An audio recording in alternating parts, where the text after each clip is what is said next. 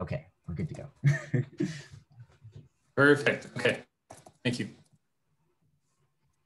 Well, the beginning of my presentation was actually a little bit of what we talked about at the beginning, introducing myself, but I'll, I'll do it again for the for the video.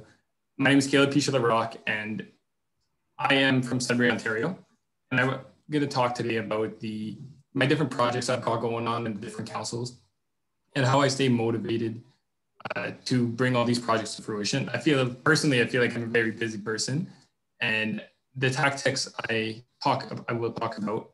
Oh, share it. My screen is not changing. Uh, it wouldn't be a Zoom session without some technical issues, would it? we, we can crop this out, so don't uh, definitely. Okay. Uh, if you'd like to go a cappella, that's also an option, but feel free to troubleshoot for a sec. Um, I'll try just sharing it again and we'll see if that fixes the issue. Sure.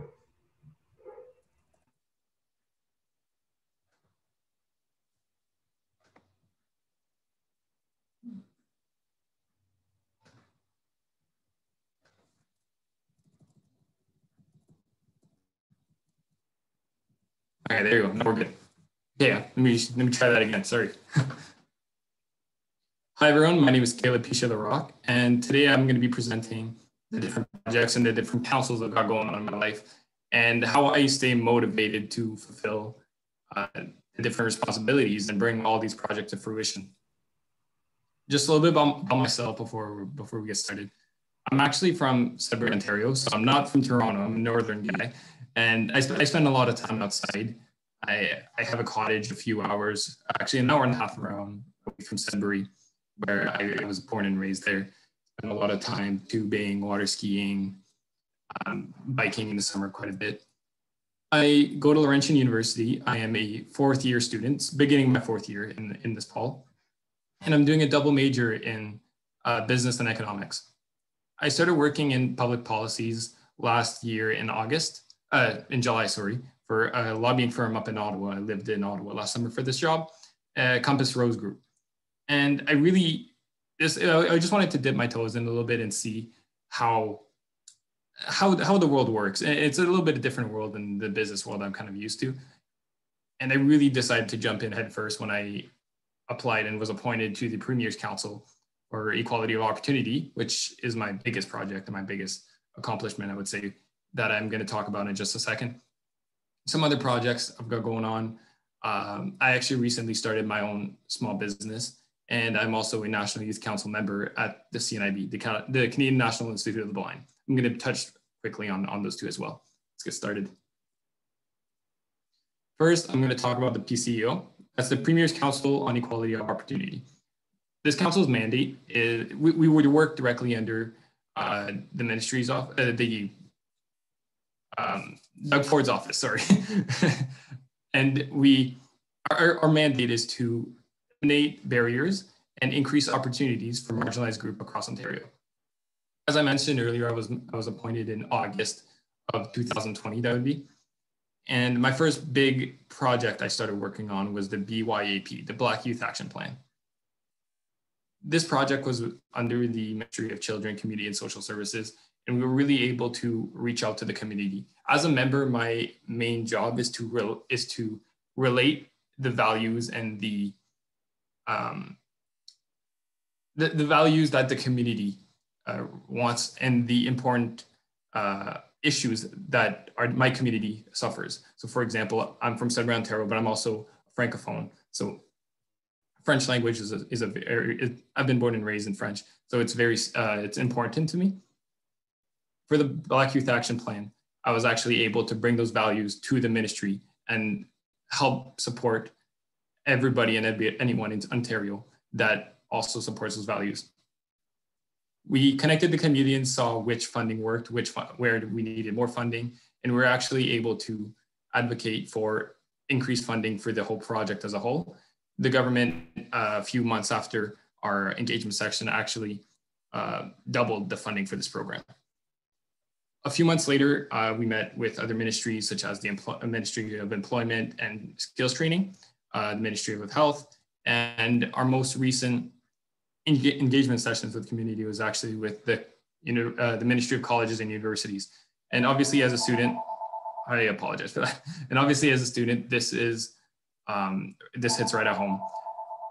Laurentian University, as many of you might have heard, is going through some financial trouble right now, and this is where uh, I went. So it was really important to get their opinion and get uh, their side of things to bring to the government and tell them here, this is what's happening. We need to do something about this. This is still an ongoing issue that, I, that I'm fighting for. But I think it, it just really puts in perspective the effect that um, this council can have on, on the ministry and on the, our communities as a whole. Moving on to Green Tea, which is my personal small business. I started this company a few months ago. It, was, it started off as a class project in my venture initiation course. And myself and a few other students actually ended up winning the pitch competition that came with the course. And the judges were so impressed, they told us we should just take it to market, which is exactly what we did. The green, green tea is not what you expect it to be. It's not actually green tea, but it, it, it is one of the ingredients and it's a compostable air freshener for your compost bin. So you just hang it on the side and it absorbs all of the bad smells and repels pests. We were trying to solve an issue that would help and that would help and uh, incentivize sustainable behavior in our city, in Sudbury and across Ontario. There is a lot, we did some market research and it was about 30% of people who did not compost in Ontario. And the main reason for that was due to bad smells. So this solves the issue. Next on uh, my, my next project is the CNIB, is with the CNIB. It's the National Youth Council. And my, my position there is really to bring a youth lens to the different programs that uh, the association brings, the, the Institute brings to youth with disabilities, youth and adults. I was actually, I, I was lucky enough to uh, have the support of the team to create my own program uh, this past year. It started in February. It was, it was called Let's Talk Money and it's a financial literacy program for youth with disabilities. We talked from anything from ODSP, Ontario Disability Support Plan, to ADP, Assistive Devices Program, and all the way to Investment 101 to first-time home buyers. Being in business, I kind of, I understand and I was able to see the importance of financial literacy at a young age, how investing now gives you XXX amount of money in the future and I was really astonished to see how many youth with disability had no idea that programs like Ontario Disability Support Plan or the federal program, the Registered Disability Support Plan, or we're not being utilized. And these, this is the difference of a few hundred thousand dollars in the long run. Myself and another member, Danny Frappier, were able to bring this program and present it to youth with any disability. The CNIB did not limit it to uh, people with visual disabilities, which was really nice as well. Now, knowing all those those three big programs of projects I've got going on, as well as school and obviously I, I work, I'm still working for Compass Rose. How do I stay happy with COVID, COVID being a big factor, and how do I stay motivated? I, I just wanted to share these two little tips and tricks that I have learned and that I started using. First, I call it hunting for wins. Uh, we, everybody has those days. Everyone can relate to this where you wake up on the wrong side of the bed. And as the day goes on, you just feel like the world is against you and you just everything piles up. And by the end of the day, you're just in a really, really bad mood.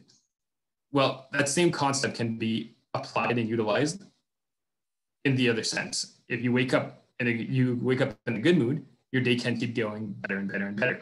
Which this is what I call, uh, this is the effect I call hunting for wins. I'll give an example with the Tesla I have here on the screen. Maybe Tesla is not the best car I should pick for this because it's a very popular car. People, it's easy to spot. But let's say you buy yourself a Tesla, you will you are more likely to notice other Teslas driving around. Same thing with a yellow car. If you buy yourself a yellow car, you're going to be driving around. You're going to notice, oh my God, there's so many yellow cars around. I never noticed. You're, there's not actually more yellow cars. Your brain is just trained to notice those yellow cars now. I'll apply this to, I'll explain how I, how I hunt for wins. When I wake up in the morning, I make myself a cup of coffee, put a little bit of cream in it, and then I taste it. It's a good coffee. That's my first win. I keep going on with my day. I walk outside to go to work. It's a beautiful day. That's win number two. When I get to work, my friend Jacob waves at me, win number three. Have a good lunch, win number four. And the wins just keep piling on as the day goes on because you are looking for them. You are, after doing this, um, after hunting for wins, you start, your brain starts looking for those wins instead of looking for those losses, like in the first example I gave. So by the end of the day, you are just in a really great mood. And I've been doing this for the, I've been trying to train myself to do this. And I can only say I've seen a difference in my, in my personality. I feel a lot more, a lot happier uh, with my everyday life, especially during COVID. Mental health is extremely important. Now, this actually I just started doing not long ago. I, I my New Year's resolution this year was actually to read more books, and I'm up to book 12, I believe, so far this year. And this was in my latest book that I read. If you guys have any book suggestions, I can, I can give you a bunch after this. But this is the, the latest book I've read. And it talks about a study that was conducted by John Bargh. It's called the Florida Effect. So I'll explain the study, then I'll say how I use it how I apply it in my day-to-day life. The researcher, John Bargh, had two different groups. The first group, we'll call it Group A. Group A had to fill in the blanks. They were in a room. They had to fill in the blanks on a page, but the words they could see on the page were words relating to elderly people. So Florida was one of them, which is why the, the study is called the Florida effect. So Florida, forgetful, slow, for example. In the other room, there was three other, uh, there was not three other participants, or there was other participants, and they had the same type of page, but the words they could see on the page that weren't blanked out were a little bit younger, more energetic, like fast and powerful, for example. After the two part, the two groups filled in the page, they were instructed to walk back down to the lobby. After they got down to the lobby, the researchers tracked how long it took them to walk to the lobby. And that's where this that's where the study was interesting. The people who who had the younger words actually walked faster and more energetically to the lobby compared to the people that had words like Florida, um, old, and forgetful. Unconsciously, and the participants were asked this after the study, did you notice those words were relating to older people, to, to the older generation compared to the newer generation?